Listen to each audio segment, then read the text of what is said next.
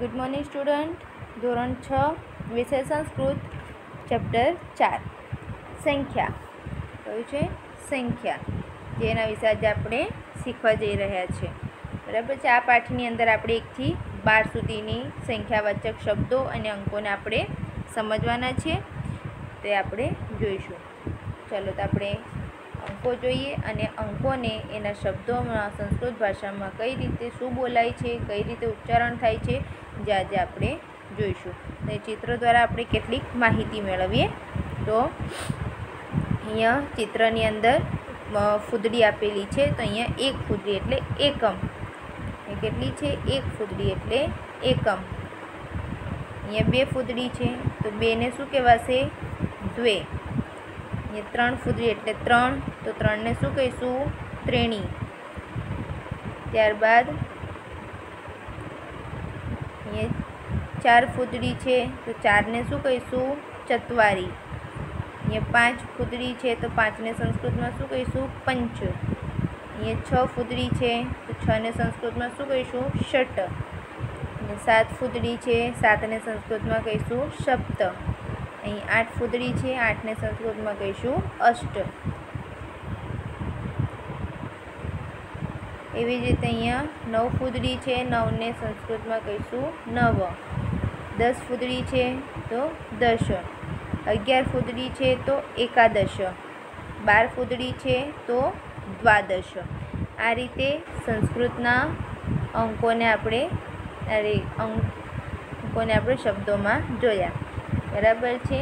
એકમ એટલે એક, દ્વે એટલે બે, ત્રીણી એટલે ત્રણ, ચત્વારી એટલે ચાર, પંચ એટલે પાંચ, ષટ એટલે છ, સપ્ત એટલે સાત, અષ્ટ એટલે આઠ, નવ એટલે નવ, દશ એટલે દસ, એકાદશ એટલે અગિયાર અને દ્વાદશ એટલે બાર.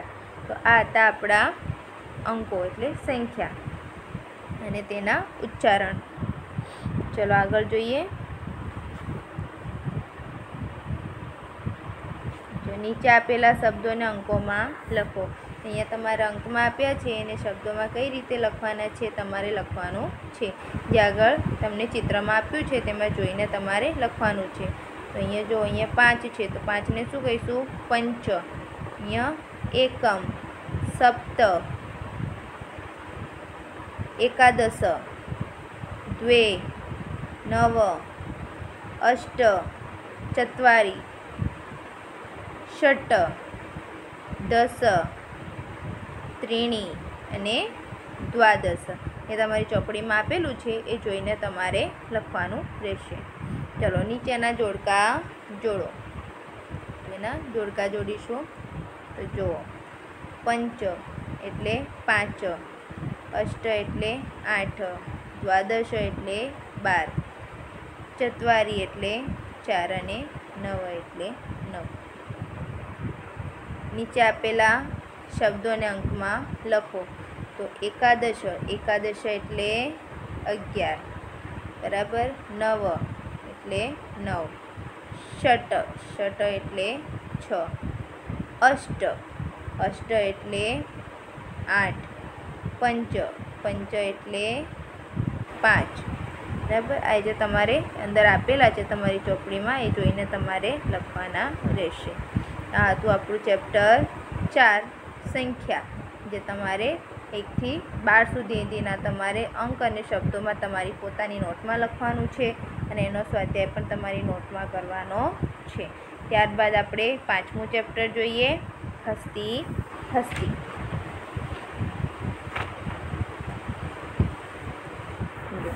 પાંચમું ચેપ્ટર છે, હસ્તી હસ્તી હસ્તી હસ્તી એટલે હાથી હાથી હાથી, હસ્તી એટલે હાથી. અહીંયા હાથી વિશે વાત કરવાની છે અને તેના વિશે આપણે જોવાનું છે. તો હાથી, હાથીનું અહીંયા વર્ણન કરવામાં આવ્યું છે. તેના અંગો વિશે, તેના શરીર વિશે કેટલીક વાતો કહેવામાં આવી છે, જે આપણે અહીંયા જોઈશું અને સમજીશું. ચાલો.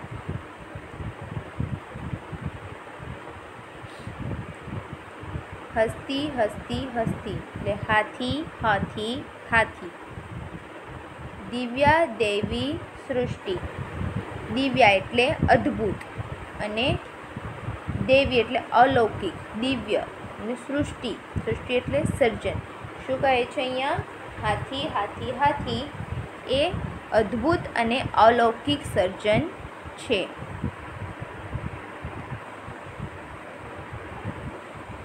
કે છે? કલદશી શુંડા સ્તંભ સમાના પાદાહા. શું કે છે અહીંયા? કલદશી. કલદશી એટલે કેળ જેવી.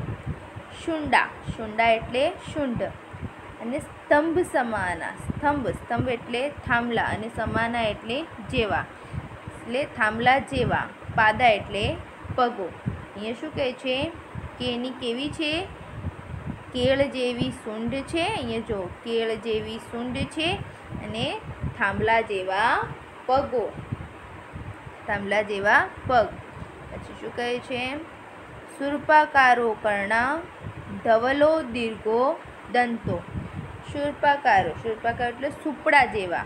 બરાબર? શૂર્પા શૂર્પાકારો એટલે સુપડા જેવા. કર્ણો એટલે કાન. ધવલો. ધવલો એટલે ધોળા, દીર્ઘો. દીર્ઘો એટલે લાંબા અને દંતો એટલે દાંત શું કહે છે? કે સુપડા આકારના તેના કાન છે, ધોળા અને લાંબા બે દંત શૂળો છે. દંતો એટલે દાંત. બે દાંત છે.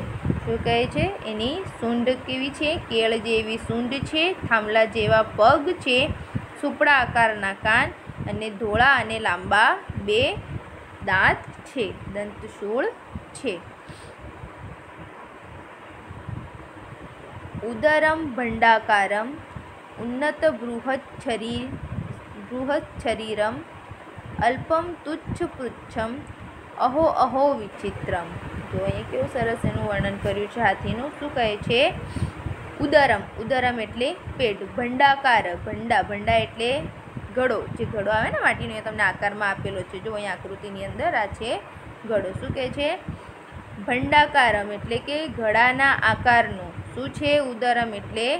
પેટ. ઉન્નત બૃહચ્છ શરીરમ. ઉન્નત બૃહદ એટલે ઊંચું અને વિશાળ. અને શરીરમ એટલે શરીર. કેવું છે એનું શરીર છે? ઊંચું અને વિશાળ શરીર છે. અલ્પમ તુચ્છમ પુચ્છમ. અલ્પમ એટલે નાનો. અને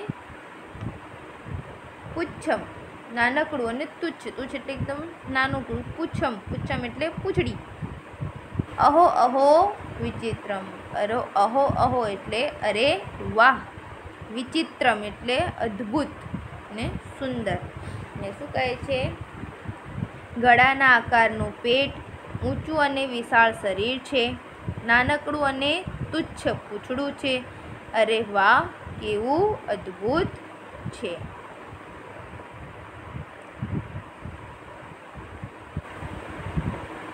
પર્વત સદસે ગાત્રે, સરસપ સનિભ નેત્રે, કથમતિ બલવાન એષ અંકુશ માત્ર રદભીત. અહીંયા શું કહે છે? પર્વત સદસે ગાત્રે, એટલે પર્વત જેવા શરીરમાં. સર્પશ સરસપ સન્નિભ નેત્રે, એટલે સરસવના જેવી બે આંખો છે. કથમ અતિ બલવાન, કથમ એટલે કેવો અને અતિ બલવાન, એટલે અત્યંત બળવાન.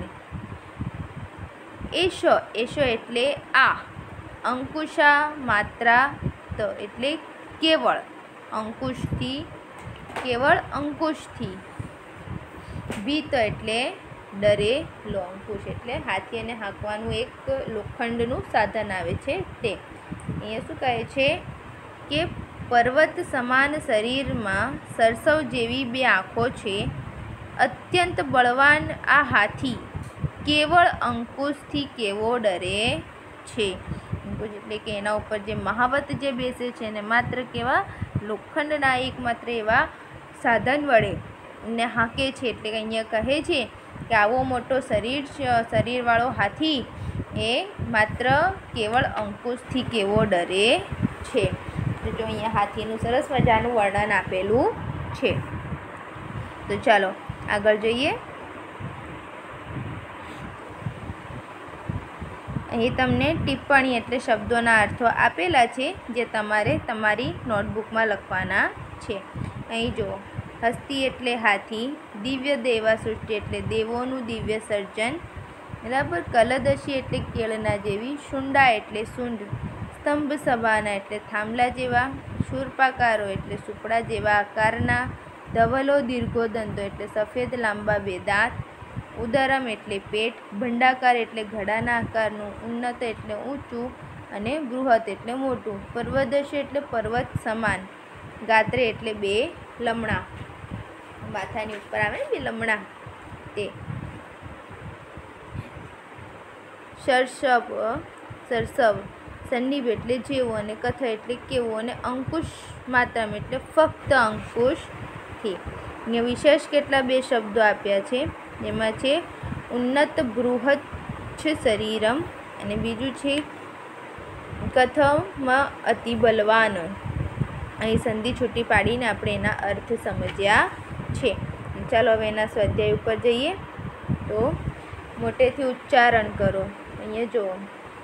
દૈવી સૃષ્ટિ કલ, કદલી, સદશી, શુંડા, સ્તંભ સમાના સુર્પાકારો, કર્ણો, ભંડાકારમ, ઉન્નત બૃહત શરીરમ, પુચ્છમ પર્વશદસે અંકુશ માત્રાદ.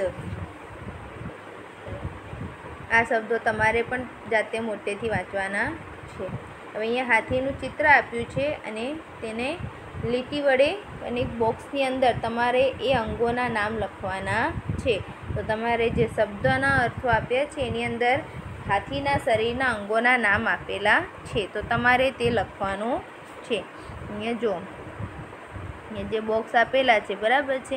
અહીં છે કે અહીંયા કાન ઉપર જે લીટી રેખા કરીને આપેલું છે, તો એને જે કાન માટે કયા શબ્દો વપરાયા છે, તો સુરપાકારો કર્ણા.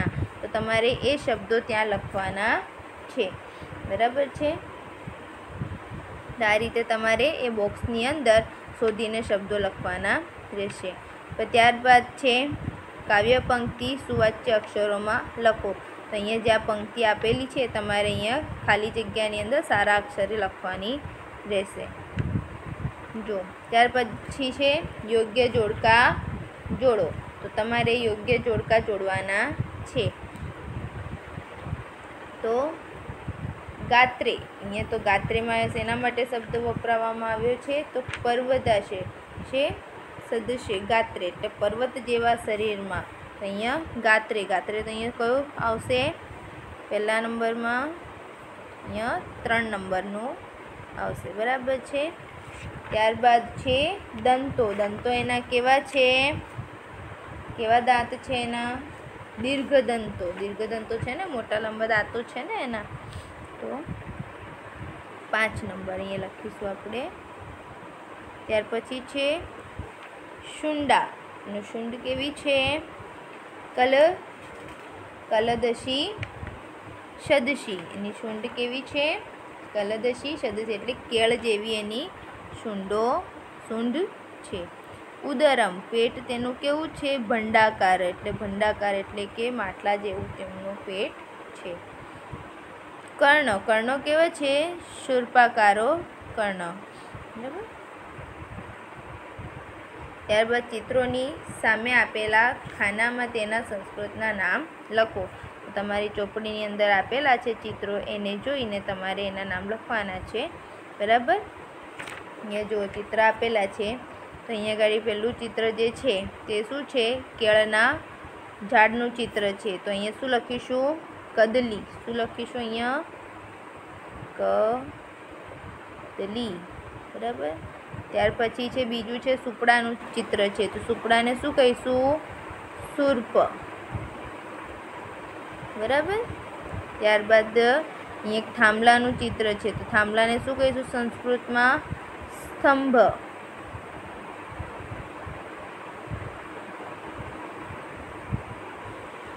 ત્યારબાદ અહીંયા માટલાનું ચિત્ર છે. માટલાને શું કહેવામાં આવે છે? કુંભ. માટલાને શું કહીશું? કુંભ. બરાબર? તો આ રીતે તમારે સ્વાધ્યાય કરવાનો રહેશે. તો તમારી નોટની અંદર શબ્દાર્થ લખી અને સ્વાધ્યાય કરવાનો છે.